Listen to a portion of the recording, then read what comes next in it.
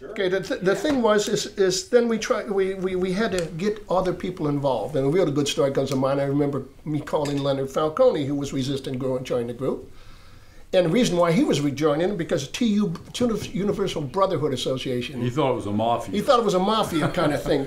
He and I told me called him, and I, yeah, I know. And I called him, and he says, "Come on." You know, I says, "I'm, I'm going to do that." You know, I'm Italian, so uh, you know, and, and, and, and in that name, and sort of he giggled and threw in support. But we had a call, like Abe Torchinsky, um, and, and and people like that. And then after the next symposium, we decided, well, we're going to have a national. And I did that in Illinois. And what I thought was is how to draw attention. Winston and of course we're, we're, we're spinning all that. I said, why don't we have a competition? You know, solo competition. You know, that way we can generate some new literature, get some people to write for us. And I remember inviting Roger Bobo to play, who was a little bit reluctant at first, and can't blame him. But I says, Roger, come. We're going to show you one heck of a good time. And you know, we did that with the jazz cut guys too. I, I invited Howard Johnson again and try to set it up as a little different thing, but having competitions so the students could get involved. Mm-hmm.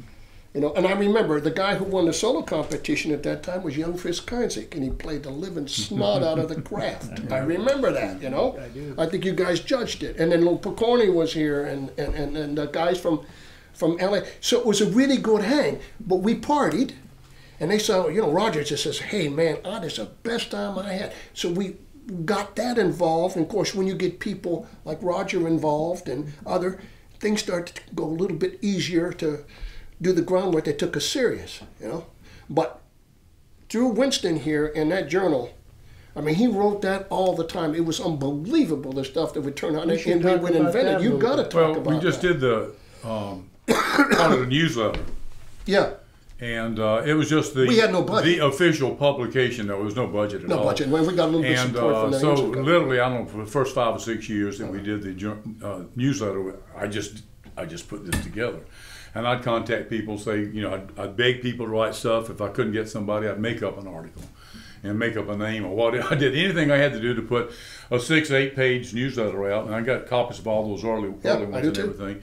And uh, but no, that was that was the. Um, but you had to have that publication. You had to have some means of communication to tie all this together, and that's what the newsletter was all about. Because the whole thing would have fallen apart if you didn't have that. There was no email, guys. There was no internet, and you know, so you know, and you know, you either picked up the telephone or. Or you send you, you sat down with a typewriter and you type these things out and then you print them up. You send them to the printers, print them up, mail them out. But uh, but that was the official communication, and it was a very important part thing to do. You had to have some kind of communication going there. That's why I was in, in the original formation of this. I said I re- really want to do this. I want to do this this, this newsletter, and then I ultimately turned it over to Bob Whaley up at uh, Western Michigan. He became the next. Uh, he ran that for quite a while. Did a real fine job with it. But that was that was the you know the means primary means of communication. Well, at, in that particular time in Illinois, um, I had a colleague, uh, Tom he was a percussion teacher, and, and he was, they had that percussion PAS going really good. I got a lot of advice from him. I really wanted TUBA to do that, like the percussion, but we could never get the membership. And I remember writing the Constitution. In fact, you know, Harvey wanted to, what, what our goal was to have an international brass society. And everybody went off to little branches. But before that, we were, we were involved. There was no trumpet, there was no trombone. Okay, and I remember we had a meeting with Harvey, who was having the first brass congress. Well, we got to get the trumpets going. So Dave Hickman's on my faculty, all right? Yeah, it's amazing. that And it so took, you it took a, it off. It took a tuba player Yeah. to, to inspire, and it took the tubists getting organized really first. Yeah. And and then and then once that got going, and it was Harvey. Yeah. That really saw this from an international perspective, and also saw it from the perspective of. We got to get the trumpets going. We got to get the horns going. We got to get the trombones going because he wanted to have an international brass society. Well, you know, the reason behind that is too, is just you can't get grants for just tuba, but if we all got together, an International Brass Society, we could get government grants. It's easier to get a grant that And we way. got some quintets out of it. Yeah, and it was Absolutely. you know, and it was it was you know we had an international brass congress when we went over to Switzerland, it was right? Montreux, Switzerland, Montreux, Switzerland, nine- 1976. Mm, yeah, yeah, And, and and it was quite a good thing. But the resistance was, you know, I mean, everybody, their horn wanted their own little thing. They had the horn call starting, and and uh, and too bad we didn't go that route. You know, but a lot. But but now look at ITE. Har- Harvey was the primary motivator behind it. and then we had the second International Brass Congress here at Indiana here in Indiana, University. we I had don't say 88, I don't remember the year. Uh, 84, 84. 84. 84, So, and then, but it was all Harvey that was driving that aspect of it because there were others of us just more.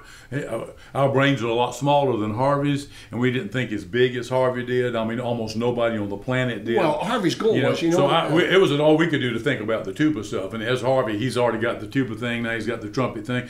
Now he's organizing the whole, the whole, uh, all the other brass societies. Now he's got the whole world tied up in this, and that's that's the scope of Harvey's thinking. Well, he's- You know. the statement he made is, is look at it takes the same energy to think big as it does small, right? Yeah. He says if you think big, you can cut it down a little bit. But if you think small, you can't go anywhere. And that was his philosophy. In, I mean, the, in the spring of '74, just before I left Tennessee, uh, Harvey convinced me and you guys to have the first regional tuba Mm-hmm. conference, which we had at University of Tennessee. You you were involved in that, and Tommy Johnson came from LA, and Brian Bowman, and uh, that was the beginning of that, which is which has gone on pretty much every two years. These were the since. regional, The regional. regional, Regional. what we call regional, what it, SWIRTEX now or Yeah. something like that, right?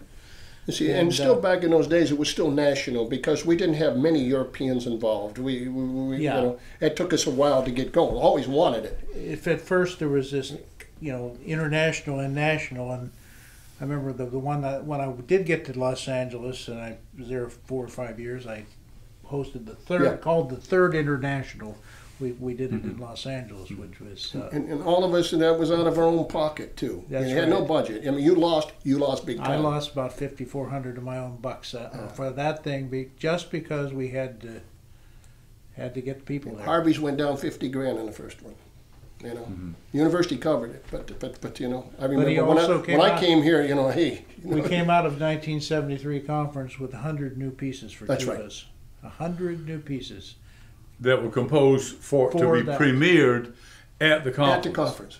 So you say, well, you know, what did their TUB, ITA ever accomplish? Just any single one of those international congresses, uh, symposiums that we've ever had, any one of those has generated dozens of new pieces, which means hundreds of new pieces in the last That's right. 35, 40 years. Hundred that would, otherwise would not have been composed.